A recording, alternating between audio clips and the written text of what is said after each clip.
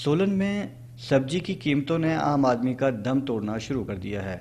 सब्जियों की बढ़ती कीमत की वजह से सोलन में महिलाएँ व पुरुष सभी परेशान नज़र आ रहे हैं। उनका कहना है कि आम आदमी कहाँ जाए और क्या खाए, ये प्रश्न है, वे सरकार से पूछ रहे हैं। उन्होंने कहा कि हर रोज सब्जियों की कीमतें बढ़ती जा रही हैं। कम होने का नाम नहीं ले रही हैं। उन्होंने ये भी कहा कि पहले सब्जियों के दाम बढ़ते थे तो दाल से गुजारा कर लेते थे, लेकिन अब दालों के रेट आसमान छू रहे हैं, ऐसे में घर का खर्च चलाना मुश्किल हो गया है।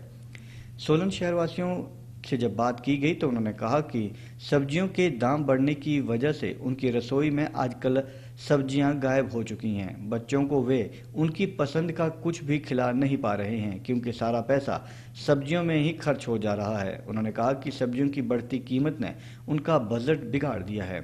उन्होंने सरकार से गुहार लगाई कि वे जल्द मूल्य पर नियंत्रण करें और उन्हें राहत प्रदान करें। उन्होंने कहा कि अगर महँगाई ऐसी ही चलती रही तो उनका जीना मुश्किल हो जाएगा। साथ ही जिन परिवारों में कमाने वाला केवल एक है, उन परिवारों का गुजारा करना भी मुश्किल हो रहा है।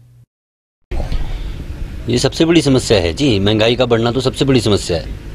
अब आज की डेट में आप बाज़ार में चले जाओ, सब्जियों के दाम पूछ लो, अस्सी रुपये किलो, मटर पूछने, आज आज ही गया था मैं मटर पूछने, एक सौ बीस रुपये किलो। एक सौ बीस रुपये किलो मटर खा के गरीब आदमी कहाँ गुजारा कर लेगा? इस हिसाब से तो ऐसे ही हो जाएगा, आने वाले टाइम में गरीब आदमी को आत्महत्या ही करनी पड़ेगी। इससे ऊपर और क्या? ये हमारी तो सरकार से ये गुजारिश है कि सबसे पहले तो बढ़ते हुए तेल के दामों को रोका जाए, जिसकी वजह से सारी ये महँगाई लिमिट में आएगी। अदरवाइज़ तो आने वाले टाइम में गरीब आदमी को फंदा ही लगाना पड़ेगा, इसके अलावा तो कुछ हो ही नहीं सकता और। से तो आ ही रही है, सब्ज़ी सब्ज़ी सबसे बड़ी बात अहम चीज़ है सब्ज़ी। हर घर में सब्ज़ी तो रोज़ बनेगी बनेगी। ठीक है ना जी? अब सब्ज़ी जब एक अस्सी रुपये किलो, एक सौ बीस रुपये किलो मटर, कौन खाएगा? कहाँ से खाएगा? महँगाई इतनी हो गई है, रसोई से सब्ज़ी गायब हो गई है। जहाँ एक टाइम दो टाइम सब्ज़ी खा लेते थे, अब एक टाइम से भी गए हम तो। और सब्जियों के दाम बहुत ही आकाश को छू रहे हैं। ना टमाटर खरीद सकते, ना प्याज खरीद सकते गोभी, आलू, सौ रुपये इतनी महँगाई होगी भी आजकल क्या करें? घर का बिल्कुल बैलेंस बिगड़ गया है।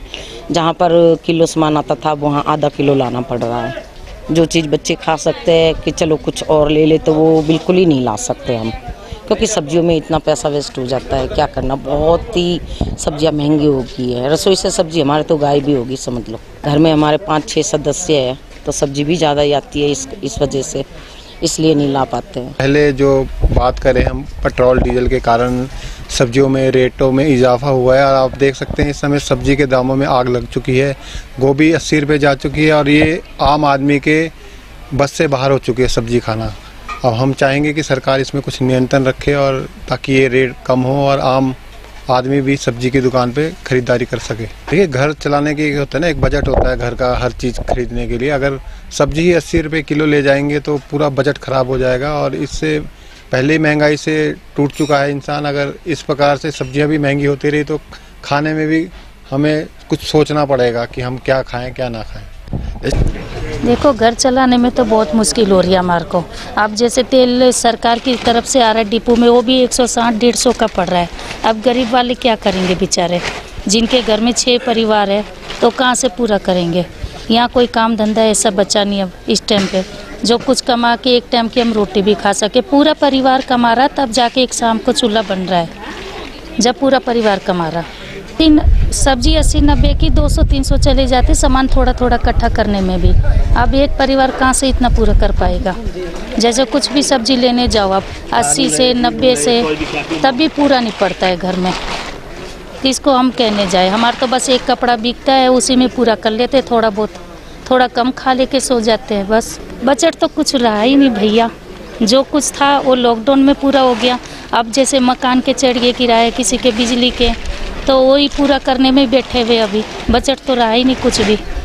इतनी कोई कमाई हुई नहीं जो हम कुछ बचा के भी रखेंगे, आके काम आएगा क्या हमारे? सब्ज़ी के दाम ज़्यादा होने की वजह से हमारे पास ग्राहक भी कम आ रहे हैं हमारी भी सब्ज़ी की दुकान है। तो इसमें आम आदमी इतनी महँगी सब्ज़ी नहीं ले पा रहा है। इसलिए हमें भी इस मतलब सब्ज़ी महँगी होने के कारण हमारी दुकान में भी सेल जैसे कम होती है और आम आदमी भी इतनी महँगी सब्ज़ी नहीं ले पाता है।